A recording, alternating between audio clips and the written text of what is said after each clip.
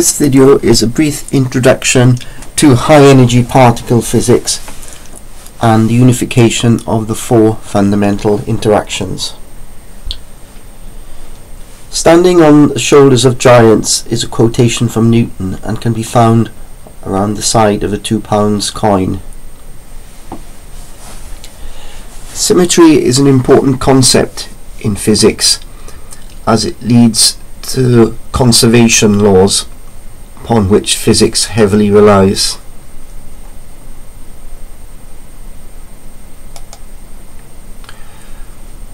One of the earliest forces to be studied is that of gravity with Newton's inverse square law. However, this has been supplanted by Einstein's theory of general relativity, which is dealt with in another one of my video casts. Einstein's theory replaces the notion of a force with that of curved spacetime.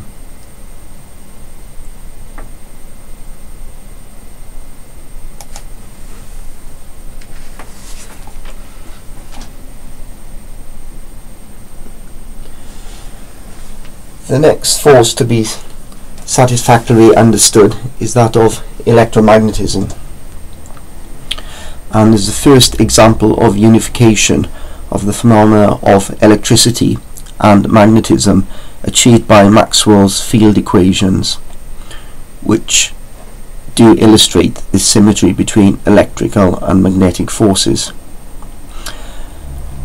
However, what is needed is a theory which is compatible with quantum mechanics and that has been achieved with quantum electrodynamics. Picture shown illustrates um, some simple effects of electricity and magnetism. We have a positive and negative charge. When they are static, they have a field, a radial field around them as shown.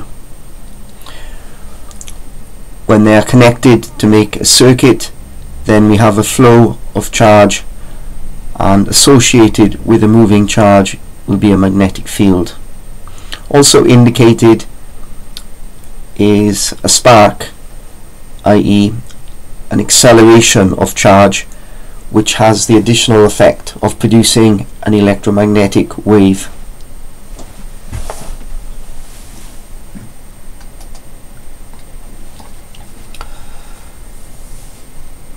This is the iconic Bohr-Rutherford model of the atom. Unfortunately, it suffers from two flaws. One is the instability of the electron's orbit, and that is discussed in my podcast on quantum theory. But here we will concentrate on the problem with the nucleus because we have positive charges of the protons uh, held in very close confinement so the electrostatic repulsion would be enormous and hence there must be an even stronger force holding them together uh, which is in actual fact restricted to the nucleus. So we know there is at least one force um, required to hold the protons together that is of a nuclear origin. In actual fact experiments with high energy particle accelerators have revealed the fact there are two nuclear forces, the strong nuclear force and the weak nuclear force. And this is depicted on the screen now. We have what is shown is a proton which has just undergone beta radioactivity and has changed into a neutron. We know that protons and neutrons are not elementary particles the proton consists of subparticles called quarks. In the case of a proton, it is two up quarks with a down quark. As you can see, one of the up quarks has turned into a down quark by emitting a beta particle, which is a high-speed positron or anti-electron together with its associated neutrino. Also depicted is the strong force or quantum chromodynamics. This is indicated by the spring-like objects. These are actually uh, representing gluons, which is the force mediator for the strong nuclear interaction. Note that the quarks are given three uh, quantum, each of the three quarks are given quantum properties there. We have a flavor, loosely speaking, they, they are the up and down names, labels attributed to them, and we also have colors, which will be of the three primary colors, colors red, green and blue in this case.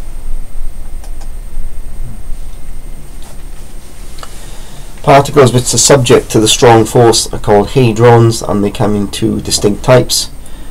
Baryons, which are the heavier type, consist of three quarks, and mesons, which are the middle weight types consisting of a quark and an antiquark. Also, the complementary colours are shown. So, if there's three quarks, there will be red, green, and blue are the primary colours which together constitute white or colourlessness. If there's two quarks, it's two um, complementary colours such as shown yellow and cyan. So we interpret this strong nuclear force which holds in an example shown a proton and a neutron together even though there's no electrostatic repulsion in this case there must be a reason for them to remain in close proximity and this is understood in terms of um, something of a residual force of the strong nuclear force between the quarks within the baryon so it's a sort of epiphenomena it's um, an extra residual effect between uh, two of these baryons which is still strong enough even to overcome the repulsion between two protons.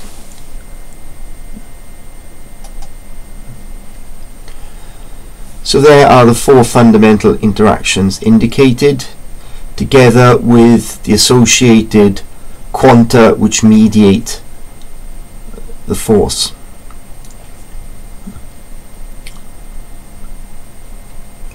The reason we usually refer to these as being interactions is that only three of them actually manifest themselves as an actual force.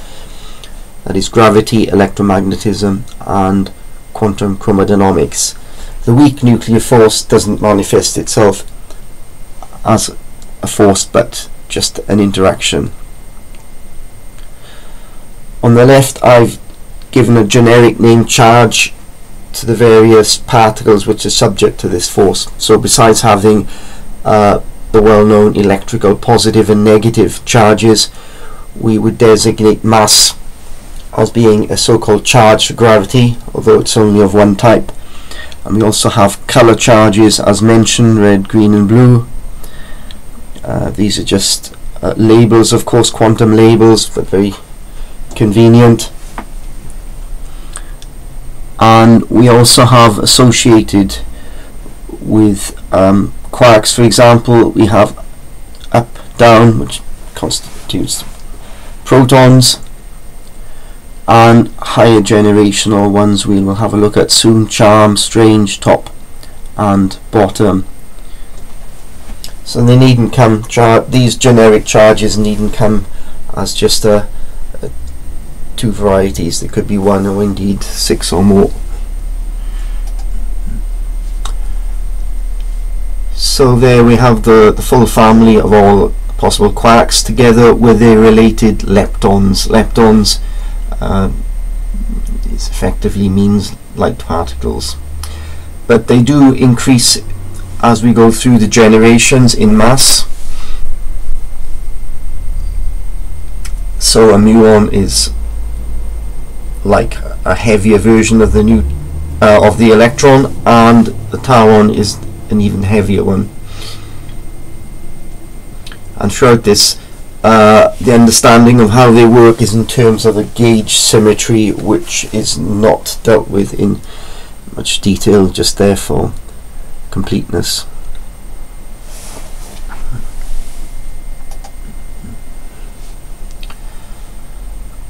And there is another depiction of those family of particles the quarks those words lepton, meson and baryon basically refer to the, uh, the, the masses of these particles. So by reading downwards following the dotted lines we can read off which forces they are subject to.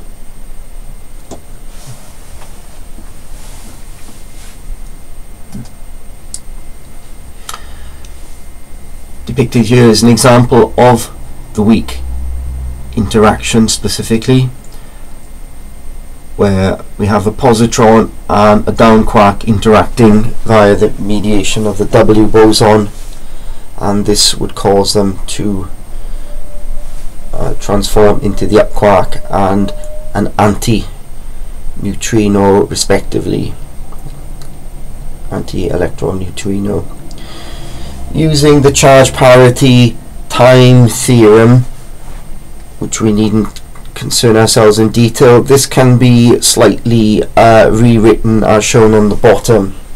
And this is more relevant to what's occurring in today's universe as opposed to the high energy what occurred with the high energies of the very early universe which is depicted in the top uh, green panel. So the universe started with the Big Bang and as it cooled this bottom reaction becomes more prominent where we have a down quark turning into an up quark by emitting W minus particle. This W particle is too heavy uh, to exist for long according to Heisenberg uncertainty principle. It has to pay back the energy debt that it borrowed off the vacuum and it will decay into an electron, a neutrino, which are much lighter.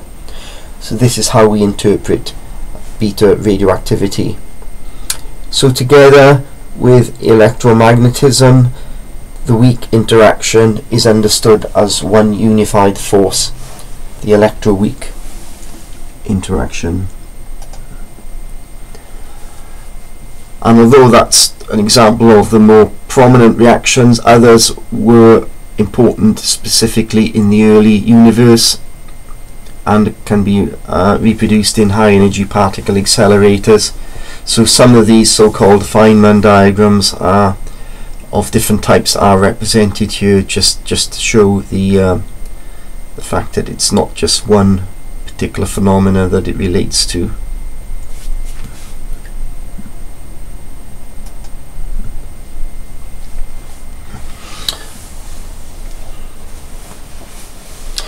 So there is a particular computer animation of what has been detected in some of these high energy particle accelerators.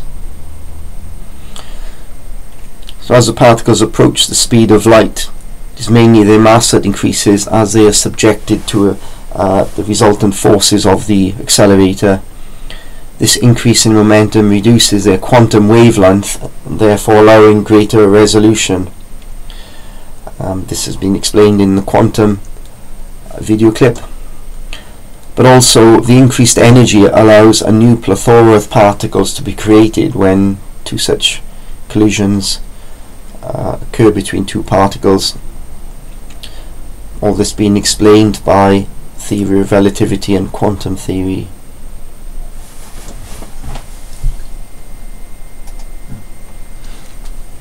Putting it into a cosmological perspective, uh, we can effectively wind back the evolution of the universe right back to the Big Bang, where the energies were very, very high, similar to those, and indeed higher than those produced in high particle accelerators, such as in CERN, Geneva.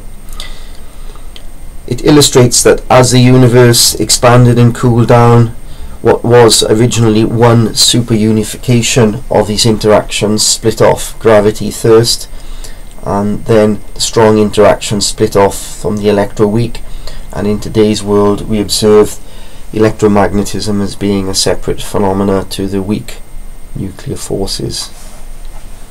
So each of these branchings corresponds to a breaking of the overall symmetry of the original super unified field. the holy grail of physics is to understand what this original field was. The main problem being uniting the electromagnetic, the weak and the strong interaction which are understood in terms of what is called the standard model with gravity for which we do not as yet have a quantum description. More details of this and other videocasts can be downloaded electronically from the link shown before below.